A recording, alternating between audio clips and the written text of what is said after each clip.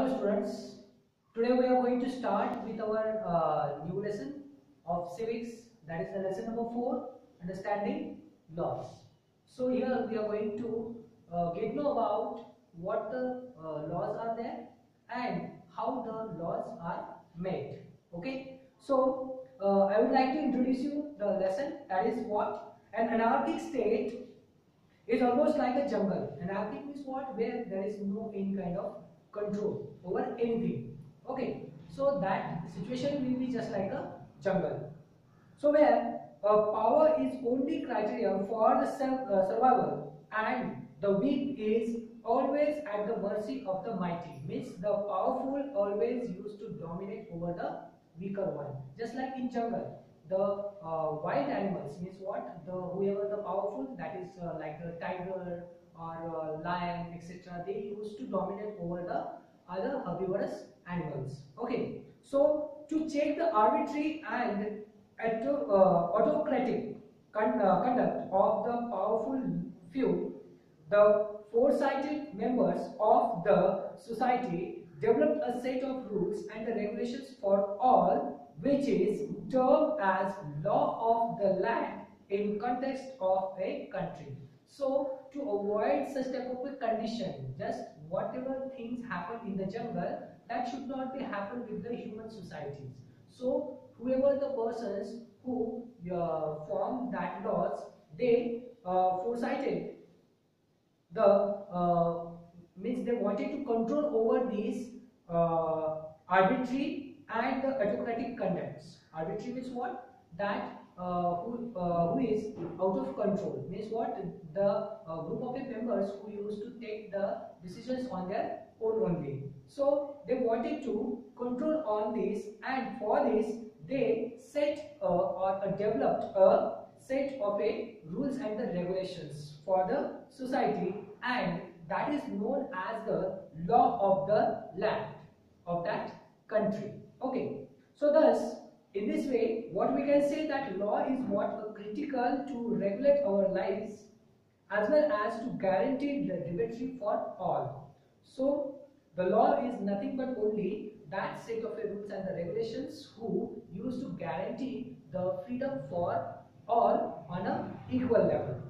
So the law is simple words that means what a system of rules which is important for governing civilized society or country. So the laws or the rules and the regulations are very important part of, part of our lives. So we are going to see the next point that is the rule of laws. So what the rule of law it is there. So at the time of framing the constitution, the members of the Constituent Assembly stated explicitly that in independent India there would be no possibility for arbitrary use of authority. Okay, so what they make the confirm or assure about the means whoever the constituent assembly it was there, they who used to draft the constitution or form the constitution, they were very much sure about that there should not be any kind of arbitrary situation in our society. So as the arbitrary use of power infringes upon the basic principles of democracy. So that infringes means if a particular group of a section uh, of the society will start to dominate over the other sections, then it will be against a principle of democracy.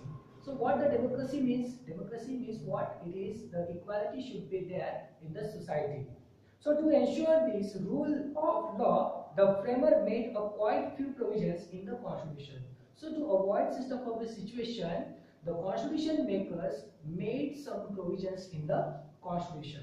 So the most important provisions among all these are, is what? That all the people are equal before the law. So this is very important which is considered as a considered as a base of the democracy. So equality is a base for the democracy and that equality should not be means uh, that should be what? Irrespective of religion region caste or gender. Means there that type of discrimination should not be happen in the society in any case. So whether it is a government official or a wealthy business person or a president of a country, nobody is over or above the law. So in fact, there is a well-organized process to deal with any violation of law and to penalize the guilty. This means what? The laws are equal for all. Though that person, the whoever the person who found guilty, uh, if that person is a, a prime minister of a country or an ordinary person of a country, that law will be applicable on an equal level to both of these. So the Supreme Court acts as a guardian of the constitution and uphold the law of the country. So the Supreme Court is the guardian of the constitution. Okay. So now we are going to learn about the laws in ancient India, which what we are going to uh, move into the past. What the situation it was there in our country. So let us look at the social laws, the prevalent in the uh, ancient India and how they were different from the current laws. So what the differences were there? In ancient times, there were the numerous overlapping local laws and the various communities enjoyed the different levels of autonomy in administering these laws. Means what? The uh, system it was there and there uh, means the laws were change, changing from one place to another place. Okay, so uh, particular uh, communities were enjoying, over enjoying the uh, autonomy. Okay, so the religious background and the caste were often the criteria for fixing the penalty to be rewarded and it was not unusual for the two people getting the dissimilar punishments for the same crime.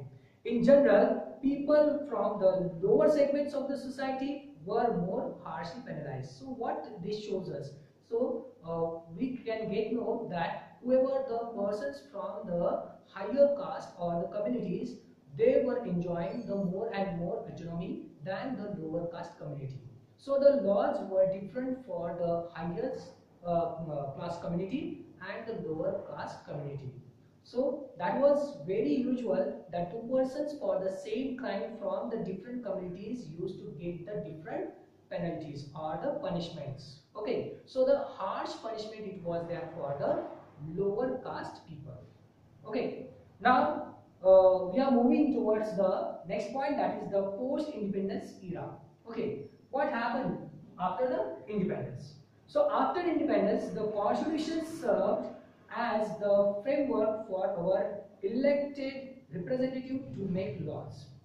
Okay, so the elected representatives, they use the constitution, whatever it was formed, they used to uh, uh, be a guideline for these representatives. Since the independence, with changing times, innumerable law, new laws have been made and old ones have been ratified. So, as per the uh, need of a time, the old laws were cancelled or some changes made with the old ones and some new laws also add with the constitution. That is what the time demand. So one such a law is the Hindu Succession Amendment Act. Hindu Succession Amendment Act of 2005. So according to which the female members enjoy the equal share in the family property. So as per these laws, the female uh, are also having the right to get the uh, equal share of the property from their parents. So similarly, many new laws related to controlling pollution, assuring employment opportunity to all, protecting the consumer right and right to information, etc. have been enacted from time to time. So all these new laws added with the constitution as per the time demand, okay, or the requirement. Now we are moving towards the new point that is the making of new laws, okay, making of new laws. So in India, Parliament plays a crucial role, very important role in preparing and uh, executives executing that laws, executing that laws. So a law is at first introduced in the form of a bill. Bill means nothing but only a set of a document. Okay, that it is a set of a document uh, that is for uh, proposal for a new law.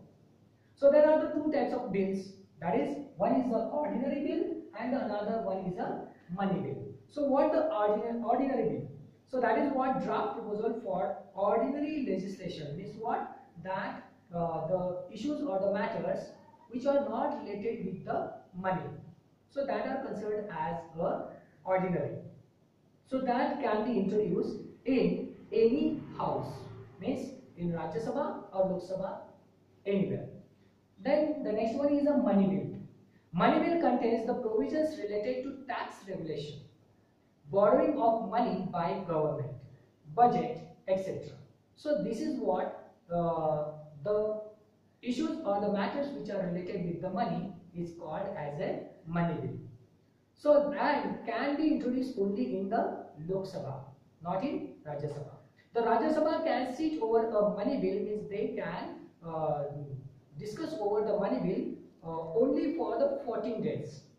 And after the expiry of this given time, the bill is assumed to be passed by the Rajya Sabha. So it is automatically passed by the Rajya Sabha. So as discussed since independence, the parliament has played a crucial role in the enactment of the laws means what? The parliament is playing a very important role in the formation of the laws. At times, diverse social and welfare groups to express their concern and put pressure on the government to enact the laws for general welfare of the public. That means what? The people uh, as they are uh, in their day-to-day -day lives, if they found any kind of problem, uh, then they can ask the government for such type of a uh, laws to be formed. So the diverse social and the welfare groups also uh, express their concern and they can put the pressure on the government for a particular kind of a law.